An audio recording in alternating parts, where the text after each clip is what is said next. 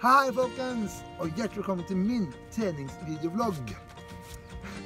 Eh, I dag skal jeg gjøre en litt spes greie på vloggen min, nemlig gjøre trening om til lek. Og jeg kaller denne greia her push-up-leken. Det du trenger da, er dette her.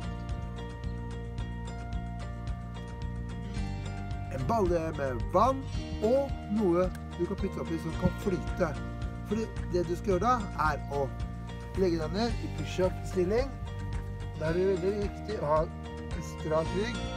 Og så skal du gjøre sånn.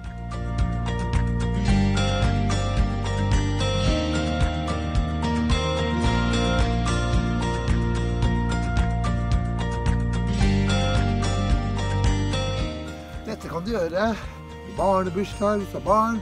Så ses vi neste gang. Og husk, trening skal også være gøy!